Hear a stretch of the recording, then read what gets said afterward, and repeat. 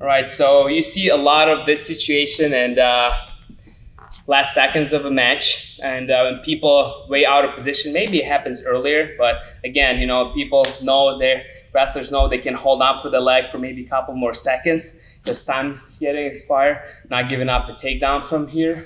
So again, what we can do from here is uh, if they hold on here nice and tight, and I trying to wrestle, maybe I'm kicking away, I'm trying to do everything I can possibly do and it's not working. So now if they hold on really tight to it, what we can do is look to step over and now we're gonna arch and kick through for two points exposure. In folk style, a lot of times you can finish on top of it. In freestyle, it's two points. Again, it's really quick moves. You gotta step over kick right away.